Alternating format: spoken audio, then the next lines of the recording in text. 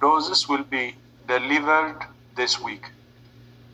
Between now and the end of May, 237 million doses of vaccines will be allocated to 142 participating economies and countries in COVAX. The first round of allocations covering the majority of economies participating in the COVAX facility.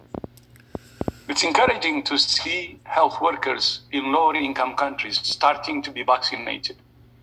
But it's regrettable that these countries started their vaccination campaigns. And it's regrettable that some countries continue to prioritize vaccinating younger people elsewhere in a race with each other.